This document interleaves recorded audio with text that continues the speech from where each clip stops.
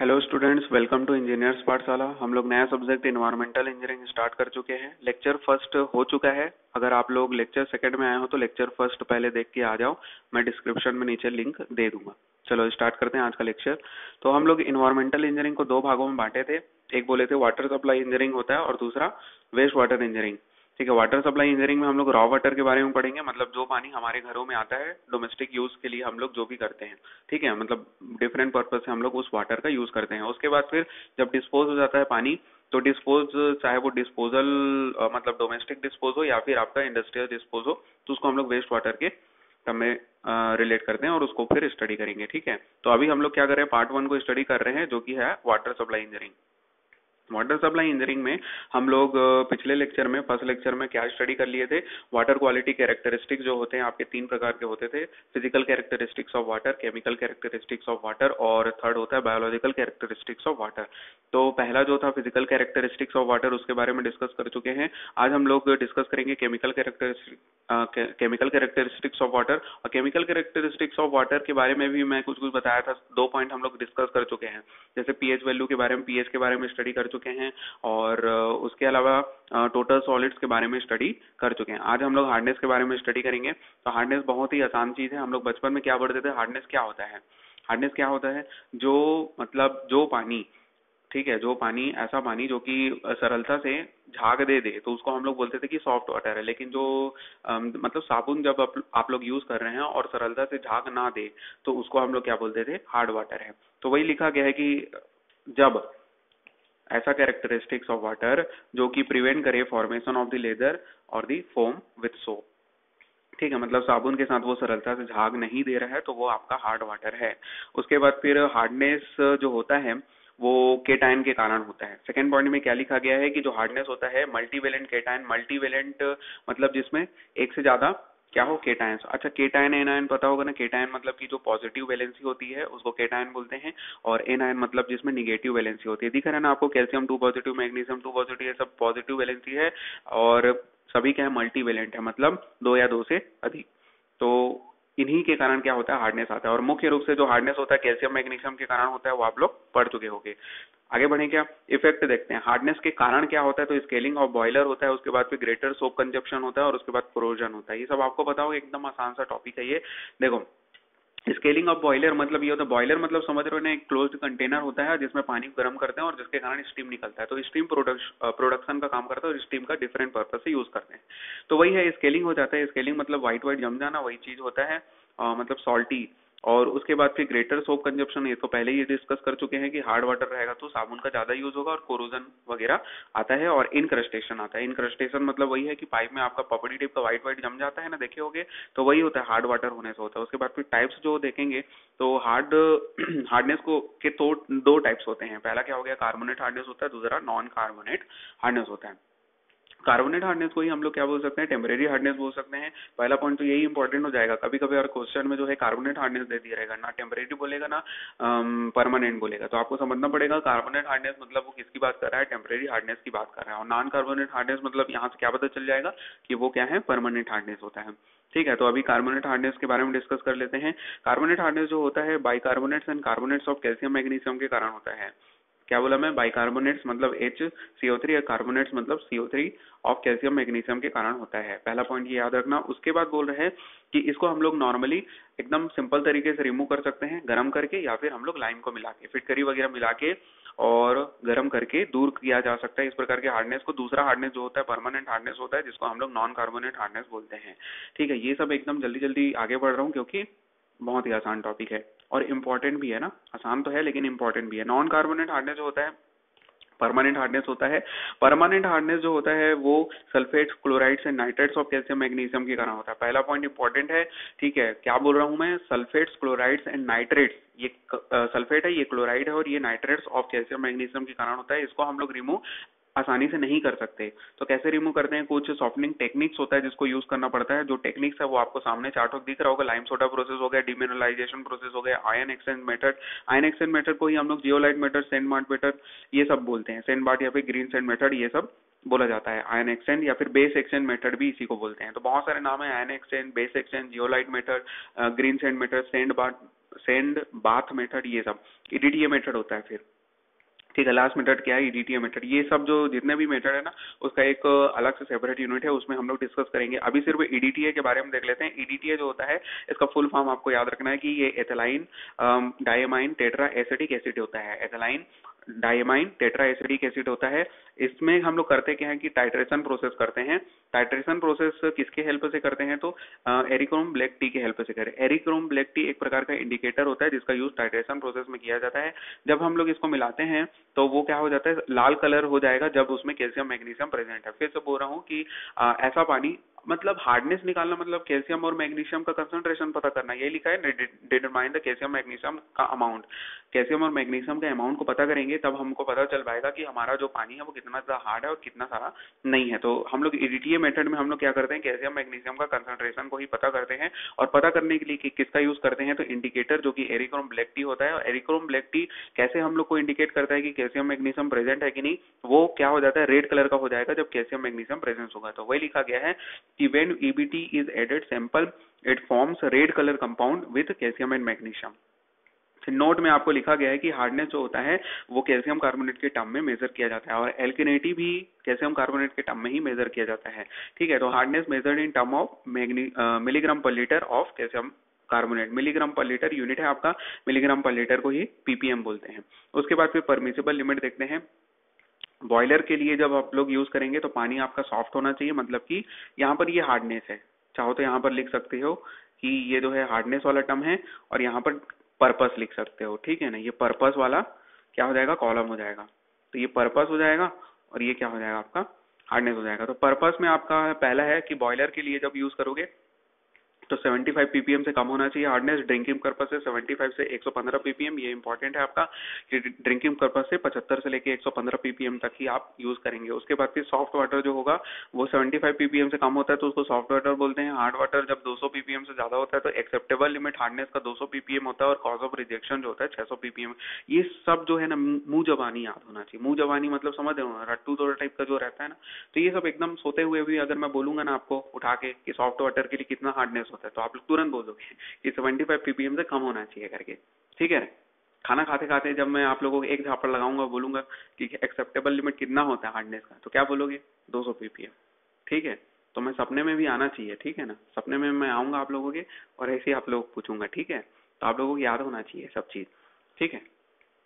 तो बॉयलर जो होता है बॉयलर के लिए जो होगा फिर से रिविजन कर देता हूँ। बॉयलर के लिए 75 पीपीएम से कम होना चाहिए। ड्रिंकिंग पर्पज के लिए 75 से 115 पीपीएम होना चाहिए। सॉफ्ट वाटर के लिए जब होगा सॉफ्ट वाटर के लिए लेस देन 75 हार्ड वाटर 200 से ज़्यादा और एक्सेप्टेबल लिमिट 200 और cause of rejection 600 ppm hardness calculation देखते हैं। अब हार्डनेस को कैलकुलेट करने का एक छोटा सा फॉर्मूला दिख रहा होगा। टोटल हार्डनेस निकालने के लिए आपको कैल्शियम का कंसंट्रेशन को मल्टीप्लाई करोगे equivalent weight of calcium carbonate divided by equivalent weight of hydrogen carbonate और फिर जोड़ दोगे किसके साथ? मैग्नीशियम के concentration multiplied by equivalent weight of calcium carbonate divided by equivalent weight of carbonate से। ठीक है? अब ये इक्विवेलेंट वेट क्या है? कैल्शियम और मैग्नीशियम का कंसंट्रेशन तो आपको क्वेश्चन में दिया रहेगा कि कैल्शियम इतना है मैग्नीशियम इतना है, लेकिन इक्विवेलेंट वेट को आपको खुद से निकालना पड़ेगा।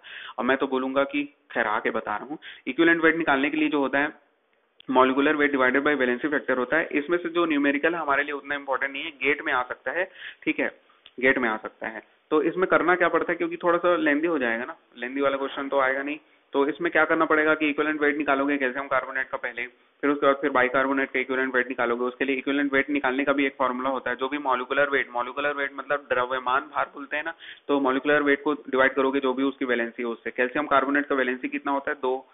ठीक है ना माइनस टू होता है तो मतलब दो होता है। मॉलिकुलर वेट निकालोगे, कैसे निकालते हैं? मॉलिकुलर वेट जैसे कैल्शियम का कितना होता है कैल्शियम का चालीस होता है कार्बन का कितना होता है कार्बन का बारह होता है, फिर ऑक्सीजन का होता है सोलह सोलह तिया सोलह बत्तीस, सोलह तिया अड़तालीस तो ये सबको जोड़ोगे तो कितना हो जाएगा आपका? सौ आ जाएगा। तो सौ को डिवाइड करोगे, दो से तो आंसर कितना आ जाएगा? पचास। तो ये पचास आपका क्या आ गया? इक्वलेंट वेट आ गया। ठीक है, फिर इसके जगह में रखोगे, फिर नीचे में फिर इक्विलेंट वेट निकालोगे हाइड्रोजन कार्बोनेट का, फिर उसके जगह में रखोगे। तो ये सब करना पड़ेगा। ठीक है तो वो इसलिए इतना इम्पोर्टेंट नहीं है। खैर, उसका न्यूमेरिकल एक छोटा सा, उसको देख लेंगे आगे। पहले इस पेज में आ जाओ और ये बहुत इंपॉर्टेंट है, इसको याद रखना कि टोटल हार्डनेस जो होता है, वो किसके बराबर होता है? कार्बोनेट प्लस नॉन कार्बोनेट एकदम सिंपल है। Total hardness is equal to क्या हो जाएगा? Carbonate hardness plus non carbonate hardness मतलब कि टेम्परेरी हार्डनेस और परमानेंट हार्डनेस दोनों को जोड़ोगे तो क्या मिलेगा? टोटल हार्डनेस मिलेगा ना? अब देखो टोटल हार्डनेस अगर ज़्यादा है एल्किनिटी से टोटल हार्डनेस अगर एल्किनिटी ज़्यादा है तो उस केस में क्या हो जाता है, वो एल्किनिटी कार्बोनेट हार्डनेस के बराबर हो जाएगा। लेकिन वहीं पर टोटल हार्डनेस अगर कम है एल्किनिटी से तो उस केस में कार्बोनेट हार्डनेस किसके बराबर हो जाएगा? टोटल हार्डनेस के बराबर हो जाएगा। मतलब सेकंड वाले केस में नॉन कार्बोनेट हार्डनेस क्या हो जाएगा? ज़ीरो हो जाएगा। ये नहीं समझ में आया, मेरे को पता है दोनों लाइन तो इसको समझने के लिए इस चीज़ को समझ लो। ये सर्कल जो मैं बना रहा हूँ उसमें समझ लो। देखो, होता क्या है कि जो कार्बोनेट हार्डनेस जो होता है ना कार्बोनेट हार्डनेस वो एल्किनिटी और टोटल हार्डनेस दोनों से जो कम होता है, उसी के बराबर होता है। फिर से बोल रहा हूँ कार्बोनेट हार्डनेस किसके बराबर होता है? एल्किनिटी और टोटल हार्डनेस में दोनों में जो कम होगा, उसी के बराबर क्या होता है? कार्बोनेट हार्डनेस होता है। बस इसी चीज़ को याद रख लो, ये दोनों चीज़ ऑटोमेटिक समझ में आ जाएगा। अभी क्वेश्चन भी करेंगे तो आगे समझ में आ जाएगा। फिर से बोल देता हूँ कार्बोनेट हार्डनेस किसके बराबर होता है?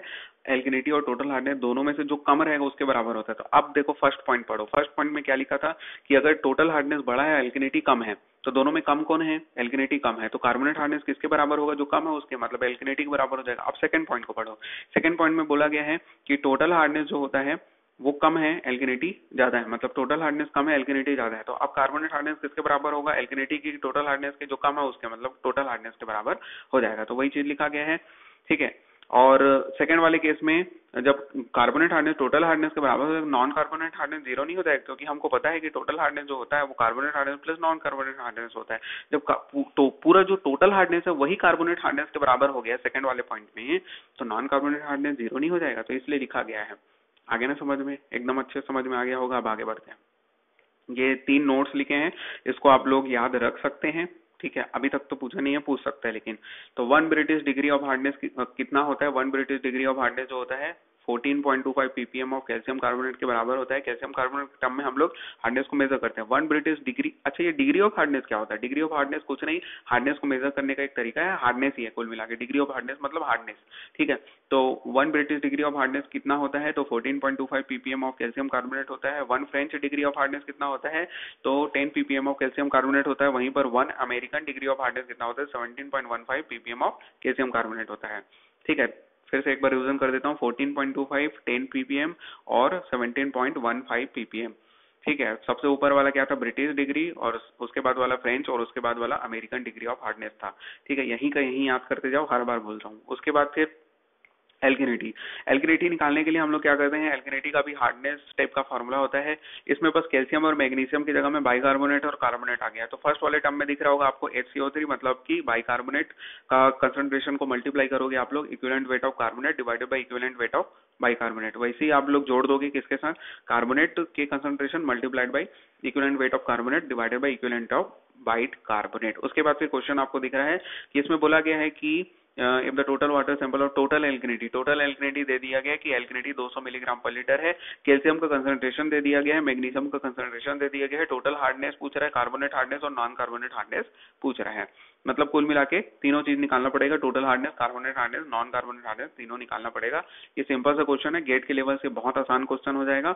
और अदर एग्ज़ाम जैसे एसएससी वगैरह हो गया, उसके लिए थोड़ा सा मॉडरेट या फिर टफ में आएगा, इसलिए उतना इंपॉर्टेंट नहीं है। लेकिन क्या चीज़ इंपॉर्टेंट है? किस तरह वगैरह का क्वेश्चन बन सकता है, उसको आगे हम लोग डिस्कस करेंगे। देखो तो सबसे पहले हम लोग देखते हैं कि एल्केनिटी दे दिया गया है तो एल्केनिटी को मैं लिख देता हूँ। ठीक है? एल के लिनिटी एल्केनिटी दिया गया है आपको 200 ppm ठीक है? 200 ppm दे दिया गया है और हम लोग को टोटल हार्डनेस निकालना है। तो टोटल हार्डनेस का फॉर्मूला मैं पूरा नहीं लिखूँगा, एक बार दिखा देता हूँ आप लोगों को। टोटल हार्डनेस क्या होता है? अगर याद नहीं होगा, इसलिए दिखा देता हूँ कि कैल्सियम का कंसंट्रेशन को मल्टीप्लाई करते थे equivalent weight of carbonate divide by equivalent of bicarbonate और उसको मैग्नीशियम का कंसंट्रेशन को मल्टीप्लाई करते थे इक्विवेलेंट कार्बोनेट और इक्विवेलेंट ऑफ़ बाइकार्बोनेट दोनों को एक दूसरे से जोड़ देते थे। ठीक है, आज का क्लास थोड़ा सा स्पीड से पढ़ा रहा हूँ, क्योंकि बहुत आसान है। ठीक है तो यहाँ पर से टोटल हार्डनेस जो होता है ना टोटल हार्डनेस हमको निकालना है।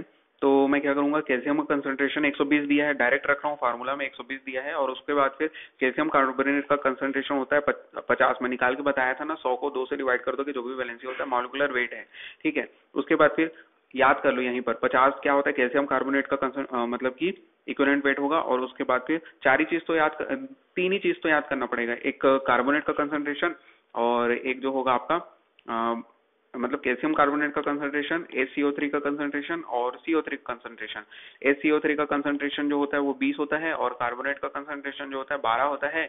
और अभी मैं निकाल के भी बताया था कि कैल्शियम कार्बोनेट का जो इक्विवेलेंट वेट कंसंट्रेशन नहीं इक्विवेलेंट वेट जो होता है वो कितना होता है? पचास होता है। तो यहाँ पर अभी मैं क्या करूँगा, पचास डिवाइडेड बाई कितना करूँगा? बीस करूँगा, क्योंकि ऊपर में कैल्शियम कार्बोनेट होता था और नीचे में बाई कार्बोनेट का इक्विवेलेंट वेट होता था। ठीक है, इसको फिर जोड़ोगे? किसके साथ जोड़ते थे हम लोग? किसके साथ जोड़ते थे? कि जो भी मैग्नीशियम का कंसंट्रेशन था, उसको फिर मल्टीप्लाई करते थे। ऊपर में कैल्शियम कार्बोनेट और नीचे में किसका इक्विवेलेंट वेट बारह हो जाएगा कार्बोनेट का। ठीक है ना? ये इक्विवेलेंट वेट कैसे निकालते थे वो मैं बताया था, बस। इसको याद कर लो, मैं बोल रहा हूँ डायरेक्ट एग्ज़ाम में निकालते तो नहीं बैठे रहोगे ना? तो पचास याद कर लो कैल्शियम कार्बोनेट का होता है और बीस याद कर लो किसका होता है? बाइकार्बोनेट का होता है, और फिर नेक्स्ट वाले टर्म में फिर से पचास रखोगे, क्योंकि ऊपर में कैल्शियम कार्बोनेट होता है और नीचे में क्या होता है? कार्बोनेट होता है तो कार्बोनेट का बारह होता है। बस इसको सॉल्व कर दो अब। ये हो जाएगा आपका छह पंचे तीस। तीन सौ हो जाएगा ना? मेरे ख्याल से ये कटा हाँ ठीक। और उसके बाद फिर ये वाला टर्म हो जाएगा, बारह बारह पंचे साठ तो दो सौ पचास हो जाएगा क्या? और ये दोनों को जोड़ोगे तो पाँच सौ पचास हो जाएगा। तो ये पाँच सौ पचास पीपीएम क्या आ गया आपका टोटल हार्डनेस आ गया। अब हम लोग क्या करेंगे? अब हम लोग क्या करेंगे टोटल हार्डनेस जब निकल के आ गया, और मेरे को एल्किनेटी पता है एल्किनेटी ये ऊपर में गिवन है क्वेश्चन में 200 है। अब देखो 200 क्या है, छोटा है ना? 200 किससे छोटा है? 550 से छोटा है। मतलब एल्किनिटी कम है कि टोटल हार्डनेस ये आपका क्या हो गया?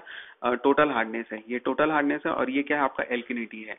तो एल्किनिटी कम है मतलब कार्बोनेट हार्डनेस किसके बराबर हो जाएगा? जो कम है उसके मतलब 200 पीपीएम के बराबर हो जाएगा। कार्बोनेट हार्डनेस तो आपका टोटल हार्डनेस भी निकल के आ गया कार्बोनेट हार्डनेस भी निकल के आ गया। आप नॉन कार्बोनेट हार्डनेस कैसे निकाल लोगे यार? जब आपको पता है कि total hardness equal to carbonate hardness plus non carbonate hardness होता है तो आप लोग नॉन कार्बोनेट हार्डनेस इजिली निकाल लोगे, क्योंकि टोटल हार्डनेस की जगह में आप लोग कितना पुट कर दोगे? टोटल हार्डनेस की जगह में 550 फुट कर दोगे, और कार्बोनेट हार्डनेस की जगह में कितना फुट कर दोगे? 200 फुट कर दोगे, और प्लस कितना करोगे? नॉन कार्बोनेट हार्डनेस तो उसके बाद फिर इसको घटा दोगे, कितना आ जाएगा? तीन आ जाएगा क्या? आंसर आ गया ना नॉन कार्बोनेट हार्डनेस आगे बढ़ते हैं अब क्लोराइड कंटेंट के बारे में. पढ़ते हैं। अब यहाँ से थोड़ा सा स्लो कर रहा हूँ। ठीक है? क्योंकि इंपॉर्टेंट भी है और मज़ा भी आएगा पढ़ने में, देखो। क्लोराइड कंटेंट के बारे में बात करेंगे। तो क्लोराइड कंटेंट किस चीज़ को इंडिकेट करता है? क्लोराइड कंटेंट पॉल्यूशन को इंडिकेट करता है। ठीक है? अगर हमारे पानी में क्लोराइड प्रेजेंस है, अगर पता चल गया तो इसका मतलब वो पानी क्या है? पॉल्यूट है। पहला पॉइंट समझ में आ गया कि किसको इंडिकेट करता है? क्लोराइड के पॉल्यूशन को इंडिकेट करता है। दूसरा पॉइंट कि source of chloride industrial waste या फिर सीवेज होता है। मतलब कि क्लोराइड जो होता है वो कहाँ से मिलेगा आपको? या तो सीवेज सिस्टम से मिल रहा है आपको सीवेज से या फिर आ, क्या बोल सकते हैं इंडस्ट्रियल जो वेस्ट है उससे आपको क्लोराइड कंटेंट मिल रहा है। ठीक है? मतलब प्रेजेंस होता है उसमें। उसके बाद फिर किससे मेजर करते हैं? बहुत इंपॉर्टेंट है ये कि मोहर्स मेथड के हेल्प से हम लोग क्लोराइड कंटेंट को मेजर करते हैं। उसके बाद फिर सैंपल को टाइट्रेट करते हैं एजीएनओ थ्री के साथ क्लोराइड कंटेंट को पता करने के लिए। ठीक है ना? तो टाइट्रेशन किसके द्वारा किया जाता है? किसके मतलब हेल्प से किया जाता है? क्लोराइड कंटेंट को पता करने के लिए टाइट्रेशन किया जाता है। AgNO3 के प्रेजेंस में मतलब AgNO3 के द्वारा किया जाता है सिल्वर नाइट्रेट बोलते हैं इसको। Silver nitrate in presence of the K2CrO4 किसके प्रेजेंस में? K2Cr O4 के प्रेजेंस में। K2Cr को क्या बोलते हैं? पोटेशियम क्रोमेट बोलते हैं। तो पोटेशियम क्रोमेट के प्रेजेंस में AgNO3 के द्वारा मतलब सिल्वर नाइट्रेट के द्वारा टाइट्रेट किया जाता है, जिससे क्लोराइड कंटेंट निकाला जाता है मोहर्स मेथड में। तो मेथड का नाम ज़्यादा इंपॉर्टेंट है तो किस मेथड से मेजर किया जाता है, मोहर्स मेथड से मेजर किया जाता है, और क्लोराइड कंटेंट अगर प्रेजेंट होगा आपके पानी में तो सॉल्टी टेस्ट देगा, यानी कि सॉल्ट प्रेजेंस होगा, ये मान लो। मतलब सोडियम क्लोराइड मुख्य रूप से प्रेजेंस होगा। इसलिए सॉल्टी टेस्ट भी होगा। परमिसिबल लिमिट इंपॉर्टेंट है। याद रखना, पूछते रहूँगा। आगे अगर हम लोग पढ़ेंगे ना तो बीच बीच में पूछूँगा क्लोराइड कंटेंट के लिए कितना परमिसिबल लिमिट होता है? 200 पीपीएम तुरंत याद आना चाहिए। तो 200 पीपीएम जो होता है परमिसिबल लिमिट होता है। क्लोराइड कंटेंट का 200 पीपीएम परमिसिबल लिमिट होता है। नाइट्रोजन कंटेंट नाइट्रोजन कंटेंट अगर पानी में प्रेजेंस है, या फिर कहीं भी प्रेजेंस तो वो किस चीज़ को इंडिकेट कर रहा है? ऑर्गेनिक मेटर को इंडिकेट कर रहा है। याद रखते जाना कि क्लोराइड कंटेंट में हम लोग क्या बोल रहे थे? क्लोराइड में बोल रहे थे कि पॉल्यूशन को इंडिकेट कर रहे हैं कि क्लोराइड अगर प्रेजेंस है तो वो पॉल्यूट रहेगा वाटर दूसरा हम लोग पढ़ रहे हैं नाइट्रोजन अगर प्रेजेंस है तो वो ऑर्गेनिक मेटर के प्रेजेंस को इंडिकेट कर रहे हैं। ठीक है? तो indicate the presence of the organic matter nitrogen जो होता है डिफरेंट फॉर्म में एग्जिस्ट करता है। फ्री अमोनिया हो सकता है एल्बुमिनाइड अमोनिया हो सकता है एलबी क्या बोलना चाहिए? एल्बुमिनॉइड अमोनिया या फिर एल्बुमिनाइड नाइट्रोजन को ही हम लोग ऑर्गेनिक नाइट्रोजन भी बोलते हैं नाइट्राइज के फॉर्म में और नाइट्राइज के फॉर्म में ये सब फॉर्म में इन, आ, मतलब प्रेजेंट होता है नाइट्रोजन ठीक है? आगे समझ में free ammonia albuminoid nitrogen या फिर organic nitrogen nitrites and nitrates ये सब फॉर्म में एग्जिस्ट करता है नाइट्रोजन। इसके बारे में डिस्कस करते हैं फ्री अमोनिया सबसे पहला।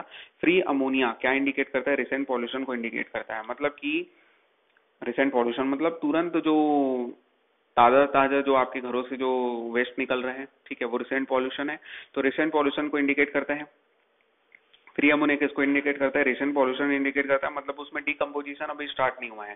डीकम्पोजिशन स्टार्ट नहीं हुआ है मतलब वो अनडीकम्पोज ऑर्गेनिक मैटर है, ठीक है ना? डिकम्पोजिशन मतलब क्या होता है? मतलब डिकम्पोजिशन मतलब इतना समझ लो कि माइक्रो ऑर्गेनिज्म पनपने लग जाता है और माइक्रो ऑर्गेनिज्म वेस्ट को खाने लग जाते हैं और सड़ाने लग जाते हैं। तो वो अभी स्टार्ट नहीं हुआ है, ठीक है? एकदम रिसेंट पॉल्यूशन है। ठीक है? फ्री अमोनिया किस चीज़ को इंडिकेट करता है? फ्री अमोनिया इंडिकेट करता है कि आपका पॉल्यूशन रिसेंट है एकदम, और उसमें डिकम्पोजिशन स्टार्ट नहीं हुआ। मतलब before decomposition permissible limit free ammonia का बहुत इंपॉर्टेंट है। पॉइंट वन फाइव पीपीएम जो होता है परमिसेबल लिमिट होता है फ्री अमोनिया का। याद करते जाना। फ्री अमोनिया का पॉइंट वन फाइव पीपीएम होता है, जबकि एल्ब्यूमिनाइड नाइट्रोजन किस चीज़ को इंडिकेट करता है कि जस्ट स्टार्ट हुआ है डिकम्पोजिशन ऊपर वाले में देखिए फ्री अमोनिया में कि स्टार्ट नहीं हुआ था डिकम्पोजिशन अब एल्ब्यूमिनाइड अमोनिया में क्या देख रहे हैं कि जस्ट स्टार्ट हुआ है अभी अभी स्टार्ट हुआ है, ठीक है डिकम्पोजिशन ऑर्गेनिक मैटर का डिकम्पोजिशन स्टार्ट हो चुका है। परमिसेबल लिमिट इसका कितना होता है तो पॉइंट थ्री पीपीएम होता है एल्ब्यूमिनाइड अमोनिया को ही हम लोग क्या बोल रहे थे ऑर्गेनिक नाइट्रोजन बोल रहे थे, ठीक है। उसके बाद फिर देखते हैं नोट बहुत इंपॉर्टेंट है, इस नोट में लिखा गया है कि ऊपर जो दो चीज़, दो टर्म पड़े हैं, एक एल्ब्यूमिनाइड नाइट्रोजन और फ्री अमोनिया, दोनों अगर एक साथ प्रेजेंट है तो उसको हम लोग क्या बोलते हैं? उसको जेल्डाज अमोनिया या फिर टोटल जेल्डाज नाइट्रोजन बोलते हैं। स्पेलिंग देख लेना इसी टाइप का जेल्डास ऐसा टाइप का। तो K J E L D A H L S ऐसा टाइप का। तो ये जेल्डाज नाइट्रोजन बोलते हैं। जेल्डाज नाइट्रोजन क्या होता है? एग्ज़ाम में पूछता है तो वो कॉम्बिनेशन होता है किसका? फ्री अमोनिया और ऑर्गेनिक नाइट्रोजन का। आगे देखें नाइट्राइट्स कंटेंट देखो नाइट्राइट्स कंटेंट जो होता है, वो किस चीज़ को इंडिकेट करता है कि आपका कंप्लीट नहीं हुआ है डिकम्पोजिशन मतलब अभी बीच में है, ठीक है प्रोसेस में है।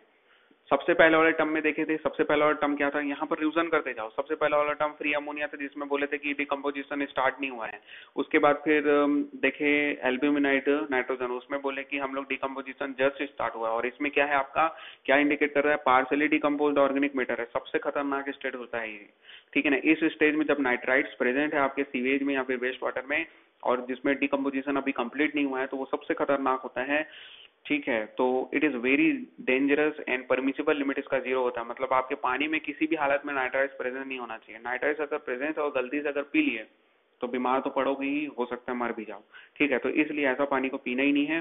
तो नाइट्राइट्स प्रेजेंस मतलब पार्सली डिकम्पोज ऑर्गेनिक मैटर है वेरी डेंजरस है। उसके बाद परमिसेबल लिमिट इसका क्या होता है? नील यानी ज़ीरो होना ही नहीं चाहिए नाइट्राइट्स उसके बाद भी नाइट्राइट्स नाइट्रेट जो होता है, नाइट्रेट इंडिकेट करता है कि कंप्लीटली डिकम्पोज हो चुका है, आपका ऑर्गेनिक मैटर पूरा कंज्यूम कर दिया गया है, इसके द्वारा माइक्रो ऑर्गेनिज्म के द्वारा पूरा डिकम्पोज हो चुका है आपका, ठीक है? और परमिसेबल लिमिट इसका 45 पीपीएम होता है, ये बहुत इंपॉर्टेंट है, कई बार पूछा है नाइट्रेट्स का जो परमिसेबल देखो नाइट्रेट्स और नाइट्राइट्स में कंफ्यूज मत होना नाइट्राइट जो होता है वो बिल्कुल नहीं होना चाहिए। ठीक है नाइट्राइट जो है वो बिल्कुल नहीं होना चाहिए और नाइट्रेट्स जो है नाइट्रेट जो है वो 45 पीपीएम तक हो सकता है। ठीक है, बहुत बार पूछा है इसका परमिसेबल लिमिट कितना होता है नाइट्रेट का तो 45 पीपीएम होता है और कॉजेस इसके कारण क्या कॉज होता है तो मीथे मोग्लोबिनीमिया ठीक है तो ये भी कई बार पूछा है कि इसके कारण कौन सा डिज़ीज़ होता है तो मीथेमोग्लोबिनीमिया होता है, जिसको ब्लू बेबी डिज़ीज़ होता है, जो कि न्यू बॉर्न बेबीज में होता है। न्यू बॉर्न बेबीज मतलब नवजात शिशु जो होते हैं, उनमें ब्लू बेबी डिज़ीज़ या फिर आपका मीथी मोग्लोबिनीमिया देखने को मिलता है। ठीक है? उसके बाद फिर देखते हैं। आगे ना समझ में ये नाइट्रेट जो होता है आपका कि कंप्लीट डिकम्पोज हो जाता है उसके बाद परमिसेबल लिमिट इसका 45 पीपीएम होता है मिथी मोग्लोमिनिया होता है। ठीक है ना? बोला भी नहीं जा रहा है इतना बड़ा सा स्पेलिंग है इसका। मिथी मोग्लो बिनिमा ठीक है जो भी है। उसके बाद फिर देखते हैं उसके बाद मेटल के, आ, केमिकल सब्सटेंसेस मतलब मेटल और कुछ केमिकल सब्सटेंसेस के बारे में डिस्कस करने वाले हैं। तो सबसे पहला जो है आपका मेटल आयरन एंड मैग्नीज आ रहा है। आयरन एंड मैग्नीज जो होता है एक्सेस में तो होना ही नहीं चाहिए। और एक्सेस में अगर हो गया तो वो क्या हो जाएगा? डी कलर कर देगा आपके क्लोथ्स को। ठीक है? डी कलर हो जाएगा मतलब कि आपका चार बुंदों वाला आयन है उजाला मतलब उजाला सुप्रीम काम में नहीं आएगा आपके। ठीक है ना? तो उजाला सुप्रीम डाल भी लो, लेकिन ऐसे पानी से अगर कपड़े धोगे तो वो क्या हो जाएगा? डी कलर ही रहेगा। डिसकलर कर देगा मतलब थोड़ा मटमैला ही रहेगा ना? डिसकलराइजेशन हो जाएगा आपका क्लोथ का। उसके बाद फिर देखते हैं incrustation of the water mains due to deposits और अगर आयरन मैग्नीज अगर प्रेजेंट है तो वो उसके कारण क्या हो जाएगा? इनक्रस्टेशन हो जाएगा वाटर में। वाटर में इनक्रस्टेशन मतलब वही व्हाइट व्हाइट मतलब इंक्रस्टेशन मतलब समझ गए ना कि डिपोजिट हो जाएगा यार सेडिमेंट हो जाएगा। जो भी पाइप का जो मेन डायमीटर था, वो डायमीटर कम होते जाएगा। कुल मिला के जमते जाएगा। समझ में आ रहा है? तो इन सभी कारण इनक्रस्टेशन होने लग जाएगा, जिसके कारण डिस्चार्ज भी कम होने लग जाएगा आपके पाइप मेन्स का। तो वही चीज़ होता है। तो आयरन मैग्नीज अगर आपका ज़्यादा अमाउंट में प्रेजेंट है तो incrustation of water mains due to deposition उसके बाद फिर देखते हैं परमिसिबल लिमिट इसका पॉइंट थ्री पीपीएम होता है। आयरन का पॉइंट थ्री पीपीएम होता है, ये भी इंपॉर्टेंट है। पॉइंट थ्री पीपीएम देखो जो भी परमिसिबल लिमिट जिसके लिए भी पढ़ेंगे सब इंपॉर्टेंट है। ठीक है परमिसिबल लिमिट आयरन का जो होता है, वो पॉइंट थ्री पीपीएम होता है, जबकि मैग्नीज का 0.05 पीपीएम होता है। मैग्नीज का कितना होता है? 0.05 पीपीएम होता है। ठीक है, सब इंपॉर्टेंट है। 0.05 पीपीएम मैग्नीज का होता है। उसके बाद फिर कॉपर के बारे में देखते हैं कॉपर के कारण क्या होता है? तो कॉपर किसको इफ़ेक्ट करता है? ह्यूमन के लंग्स को इफ़ेक्ट करता है। और उसके अलावा रेस्पिरेटरी ऑर्गन्स को इफ़ेक्ट करता है। इसका मतलब क्या समझे? जो श्वसन तंत्र होता है, मनुष्य का, और फेफड़ा होता है। फेफड़ा किससे रिलेटेड है? श्वसन तंत्र से। ठीक है तो मनुष्य के जो फेफड़ा होता है लंग्स को उसको इफ़ेक्ट करेगा। रेस्पिरेटरी सिस्टम को इफ़ेक्ट करता है। और कॉपर का जो लिमिट है वन टू थ्री पीपीएम तक हो सकता है। वन टू थ्री पीपीएम जो होता है, इसका परमिसिबल लिमिट होता है सल्फेट्स देखते हैं। सल्फेट्स के कारण लेक्सेटिव इफ़ेक्ट होता है ह्यूमन बॉडी में और उसके अलावा डायरिया हो सकता है। ठीक है डायरिया तो पता होगा लेक्सेटिव इफ़ेक्ट तो मतलब वही आपका दस्त हो गया, जुलाब हो गया। ठीक है ना मतलब आप लोग दिन भर में पचासों बार बाथरूम का रास्ता देखोगे। ठीक है तो कुल मिला के वही है लेक्सेटिव इफ़ेक्ट जुलाब वगैरह, दस्त वगैरह हो जाएगा। उसके बाद फिर ह्यूमन बॉडी में डायरिया भी हो सकता है, ठीक है? मतलब कुल मिला के डायरिया हो सकता है तो सल्फेट के कारण। उसके बाद भी परमिसिबल लिमिट इसका 250 पीपीएम है। 250 से कुछ याद आ रहा है क्या 250 और किसके लिए पड़े थे? 250 और किसके लिए पड़े थे? क्लोराइड के लिए पड़े थे क्या? क्लोराइड कंटेंट भी 250 है सल्फेट्स भी आपका 250 है तो ऐसा याद करते रहो रिलेट करते रहो, ठीक है?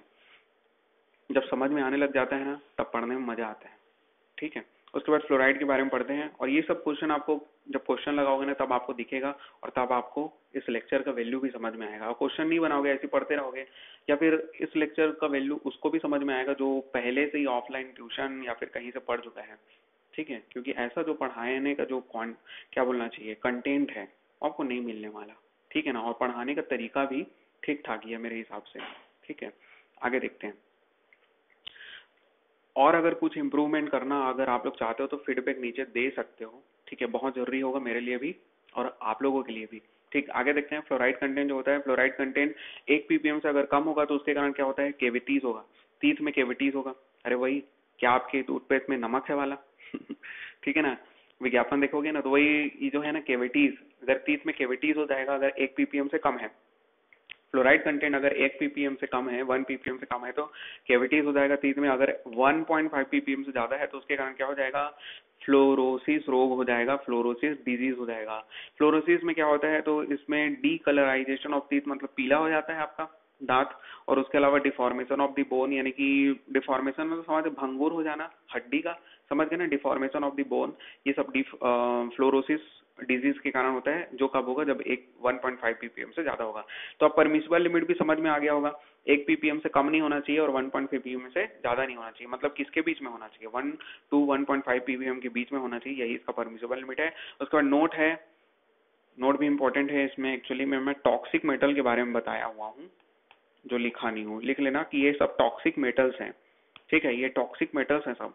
आर्सेनिक हो गया लेड हो गया मरकरी हो गया कैडमियम हो गया साइनाइड और बेरियम इसका फुल फॉर्म भी लिख लेना, अगर पता नहीं होगा तो ये आर्सेनिक है, ठीक है। उसके बाद ये पीबी लेड है मरकरी है ये। उसके बाद ये कैडमियम है, ये साइनाइड है और ये बेरियम है। ये सब टॉक्सिक मेटल्स के अंतर्गत में आते हैं। पूछ सकता है कि which of the following is not a toxic metals या फिर which of the following is a toxic metals चार पाँच टॉक ऑप्शन रहेगा उसमें से आपको बताना पड़ेगा। उसके बाद फिर डिजोल्व गैसेस डिजोल्व गैसेस मतलब कि घुला हुआ जो आपका गैस है पानी में तो एस टू एस गैस के बारे में तो पहले ही डिस्कस कर चुके हैं। रोटेन एगला स्मेल देता था आपका। मतलब बेड स्मेल और ओडर आता है एस गैस के कारण कार्बन डाइऑक्साइड को भी पढ़ चुके हैं। कार्बन डाइऑक्साइड जो होता है, इसके कारण एसिडिटी आता था। एसिडिटी मतलब कुल मिला के आपका कोरोजन आ जाएगा पाइप में और किस चीज़ को इंडिकेट करता है? बायोलॉजिकल एक्टिविटी को इंडिकेट करता है। बायोलॉजिकल एक्टिविटी को इंडिकेट करता है, ठीक है मतलब ये है कि ऑर्गेनिक मैटर की प्रेजेंस को भी थोड़ा बहुत इंडिकेट करेगा, क्योंकि बायोलॉजिकल एक्टिविटी को इंडिकेट कर रहे हैं, ठीक है। वैसे इस इस वाले टर्म को ना थोड़ा सा मत ही लिखना तो ज़्यादा अच्छा रहेगा। क्यों? क्योंकि हम लोग ऊपर पढ़ चुके हैं नाइट्रोजन कंटेंट होता है, वो किस चीज़ को इंडिकेट करता था? पढ़े थे ना? Nitrogen content presence of the organic matter को इंडिकेट करती याद करते जाओ ऊपर में पढ़े थे अभी पढ़ते हुए आ रहे हैं कि नाइट्रोजन कंटेंट किस चीज़ को इंडिकेट करता है? ऑर्गेनिक मैटर की प्रेजेंस को देखो नेक्स्ट लाइन में लिखा भी है कि नाइट्रोजन गैस जो डिजोल्व होगा, वो किस चीज़ को इंडिकेट करता है? Presence of the organic matter को इंडिकेट करता है। ठीक है? और ऊपर में कार्बन डाइऑक्साइड भी सेम चीज़ को इंडिकेट करता है, मैं लिख दिया हूँ। तो अगर क्वेश्चन आ गया कि इनमें से कौन सा जो गैस है, वो इंडिकेट करता है कि ऑर्गेनिक मैटर प्रेजेंट है कि नहीं? तो आप लोगों को आंसर क्या लेना है? नाइट्रोजन लेना है, ना कि कार्बन डाइऑक्साइड इसलिए बोल रहा हूँ कि उसको काट सकते हो करके। ठीक है? किस चीज़ को नाइट्रोजन जो होता है, वो इंडिकेट करता है ऑर्गेनिक मैटर के प्रेजेंस को इंडिकेट करता है। और कार्बन डाइऑक्साइड किस चीज़ को इंडिकेट करता है? बायोलॉजिकल एक्टिविटी को इंडिकेट करता है और कोरोजन इन पाइप हो जाता है कार्बन डाइऑक्साइड के प्रेजेंस के कारण। उसके बाद ऑक्सीजन है। ऑक्सीजन जो होता है ऑक्सीजन किस चीज़ को इंडिकेट करता है कि हमारे पानी में कितना ज़्यादा पॉल्यूशन है? जितना ज़्यादा ऑक्सीजन प्रेजेंस होगा पानी में, उतना कम पॉल्यूशन होगा और जितना कम ऑक्सीजन प्रेजेंस होगा पानी में, उतना ही ज़्यादा पॉल्यूशन होगा। ठीक है ना? एकदम साधारण है, क्योंकि जितना ज़्यादा पॉल्यूशन होगा, उतना ज़्यादा माइक्रो ऑर्गेनिज्म होगा और वो सब ऑक्सीजन को कंज्यूम कर लेंगे और जिसके कारण ऑक्सीजन कम होगा। ठीक है? तो वही चीज़ है। उसके बाद फिर क्या होगा कि ऑक्सीजन या फिर डीओ लिखा हूँ। डीओ मतलब डिजोल्व ऑक्सीजन घुला हुआ ऑक्सीजन तो ये जो डीओ है, वो किससे मेजर करते हैं? तो विंकलर मेथड होता है, ये इंपॉर्टेंट है। विंकलर मेथड से ऑक्सीजन के कंटेंट को या फिर डिजोल्व ऑक्सीजन को मेजर कर पाते हैं। और उसके बाद जो टर्म लिखा है, ये भी इंपॉर्टेंट है टेम्परेचर जो होता है, वो इनवर्सली प्रोपोर्शनल होता है ऑक्सीजन कंटेंट के। अभी मैं बता देता हूँ कि ऑक्सीजन जो होता है, वो घटते जाता है टेम्परेचर बढ़ने के साथ साथ मतलब टेम्परेचर है, ठीक है? दिन के समय में मस्त सूर्य निकला हुआ है टेम्परेचर ज़्यादा है तो जिसके कारण बायोलॉजिकल एक्टिविटी बढ़ जाएगी। बायोलॉजिकल एक्टिविटी मतलब कुल मिला के माइक्रो ऑर्गेनिज्म बढ़ने लग जाएँगे माइक्रो ऑर्गेनिज्म ऑक्सीजन को कंज्यूम कर लेंगे, और जिसके कारण ऑक्सीजन कम हो जाएगा। ठीक है ना? ऑक्सीजन कम हो जाएगा। तो वही है, इसलिए टेम्परेचर बढ़ने के साथ साथ ऑक्सीजन कंटेंट कम होता है। ठीक है? उसके बाद फिर ऑक्सीजन जो एक्वेटिक लाइफ मतलब कि जली जीवन के लिए जो जल में जीने वाले जीव रहते हैं, मछली हो गया, दुनिया भर के तो उनके लिए फोर पीपीएम कम से कम होना चाहिए ऑक्सीजन प्रेजेंस याद रखना कि फोर पीपीएम से अगर कम है तो वहाँ पर जीव जंतु जी नहीं पाएँगे। ठीक है?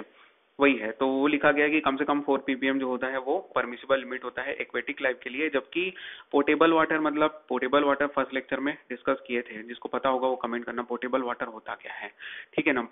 तो पोर्टेबल वाटर जो होता है, वो पाँच से दस पीपीएम तक हो सकता है। ठीक है ना, पाँच से दस पीपीएम तक उसका परमिसिबल लिमिट होता है पोर्टेबल वाटर के लिए। इतना मतलब हमारे पीने योग्य पानी में होना चाहिए कि पाँच से दस पीपीएम उसके बाद फिर फ्रेश वाटर जो होता है फ्रेश वाटर रिवर में ट्वेंटी डिग्री सेल्सियस में कितना परमिसेबल लिमिट है? ऑक्सीजन का नाइन पॉइंट टू पीपीएम है।